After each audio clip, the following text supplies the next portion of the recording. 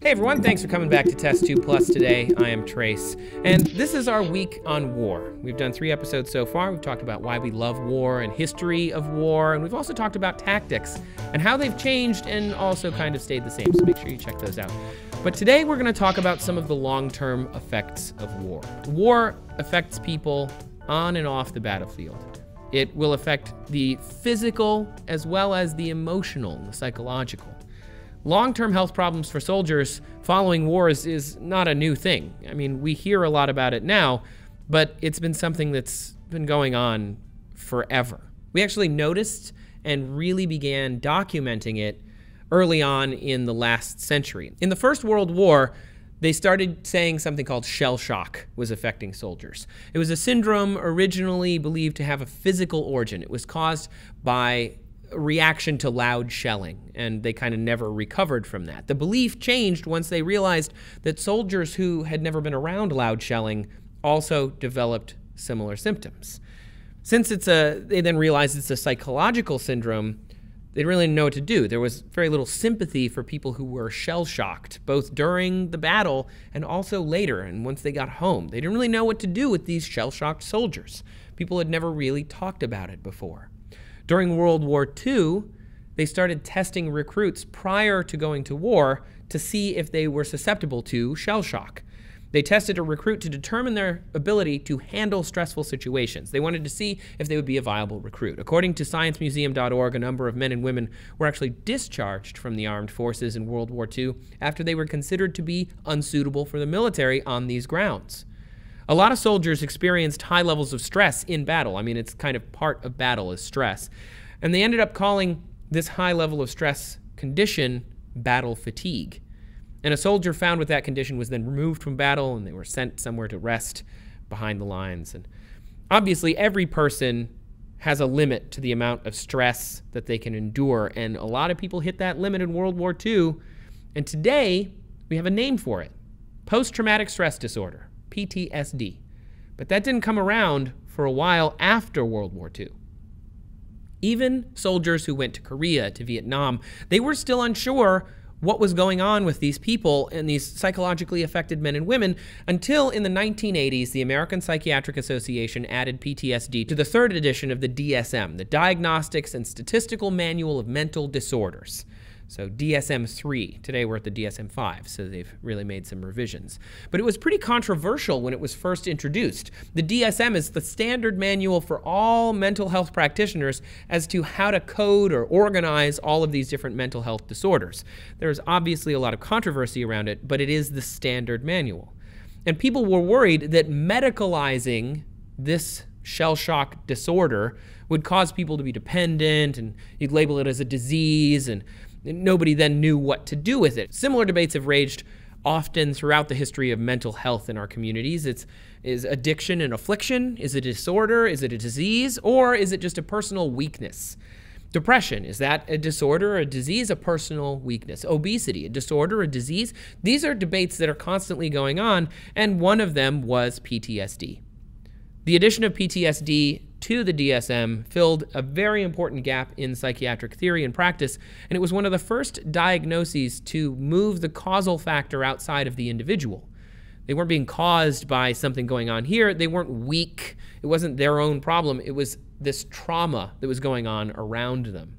The neurobiology of PTSD is really telling. It's very interesting. So many things are happening in the brain and elsewhere in the body, and Research shows that PTSD may be associated with neurobiological alterations in both the central and autonomic nervous systems.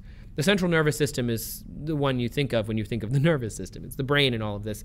The autonomic nervous system are things that you don't control consciously. Psychophysiological changes also occur in the people who have PTSD. For example, the sympathetic nervous system, which is you know how you breathe and things that keep your heart beating, can be hyper aroused in people with PTSD. You're not controlling that. That's not you, that's your body. Increased sensitivity and augmentation of the acoustic startle eye blink reflex is aroused in PTSD, which means that you startle more easily and you'll blink more easily when startled. There are sleep abnormalities associated with PTSD. Everyone knows that that's not something you're consciously controlling. Functional brain imaging in modern day suggests there's excessive amygdala activity in people with PTSD. The amygdala is the fear center of the brain. It controls a lot of our emotions. And there is also reduced activation of the prefrontal cortex and the hippocampus. The prefrontal cortex is executive function, it's how we make our decisions, and the hippocampus is memory functioning. So people with PTSD can have all sorts of problems with emotions, with decision making, with memory, and all of those things seem to fit with shell shock if you think back, you know. Lots of things are happening inside the body, but it's important to understand what triggers this as well. Uh, to understand PTSD, you have to understand the concept of trauma. According to the DSM 3, which again has been revised since, a traumatic event is a catastrophic stressor that is outside the range of usual human experience. War would definitely fit into that. But so would a lot of other things, you know? Torture and rape, the atomic bomb going off near your hometown, in your hometown. Natural disasters also fit there earthquakes, hurricanes, volcanic eruptions, and also more emotional things human made disasters, factory explosions, airplane crashes, automobile accidents. I mean, even just losing a partner, losing somebody, that can be a traumatic event that you never recover from. You can have PTSD from that. It's very interesting, and it can happen to so many people. Everyone has stressors in their lives. And to diagnose PTSD assumes that most individuals can cope with ordinary stress. And the traumatic stressors overwhelm our capacity to handle that stress, and thus we get post traumatic stress disorder. We don't want to just focus on people in war, of course, even though this is our week on war. Civilians can have PTSD too, and they can be affected by war even when they're not directly involved. There's collateral damage where people are literally hurt or killed. But there's also civilian populations who have to deal with the fallout, the destroyed infrastructure, leftover mines and bombs that still exist all over the world from various conflicts.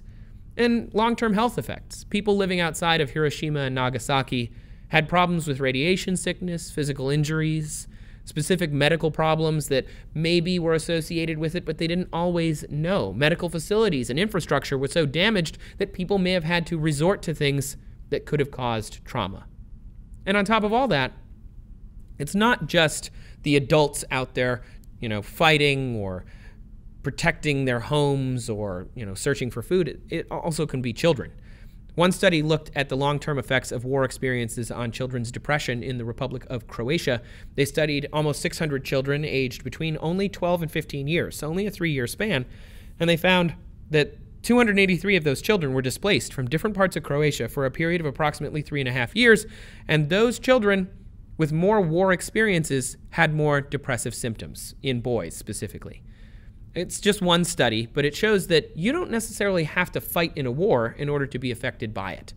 PTSD can affect soldiers, can affect people, it can affect civilians all across all of our communities. And I want to end on this section with a personal anecdote. I've been reading this book recently, so I, it's personal as in I'm doing this now. Um, James Bond, Ian Fleming. The book is You Only Live Twice. And in this, it's post Casino Royale. Spoiler alert: his lady gets killed at the end of Casino Royale, the movie. Also in the book, not good. Um, and James Bond is being described by M to a neurologist with the symptoms of PTSD. They're saying he can't focus. He doesn't have great memory of what he's been doing lately. He doesn't show up on time. He's inattentive. He's failing at work, and he doesn't have an emotional response to anything anymore.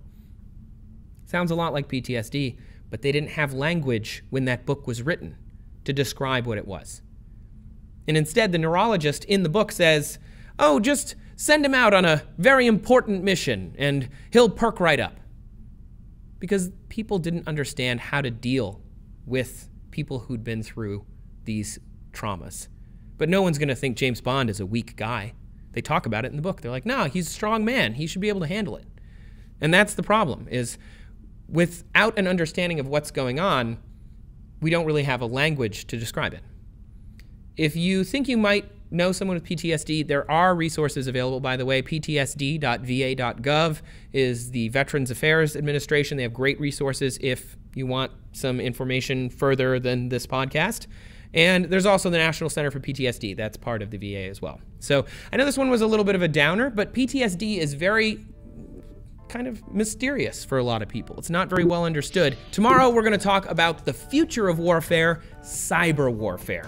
Computers fighting computers. Well, actually, people using computers to fight computers. It's gonna be cool. Make sure you come back for that. Subscribe to TestTube Plus. Come find me on Twitter if you have questions. I'm at Trace Dominguez. You can find the show at TestTube. Let us know down in the comments what you thought of this episode. I know, again, kind of a downer, but I think it was really, really interesting. Hopefully you agree. Thanks for watching TestTube Plus. We'll see you tomorrow.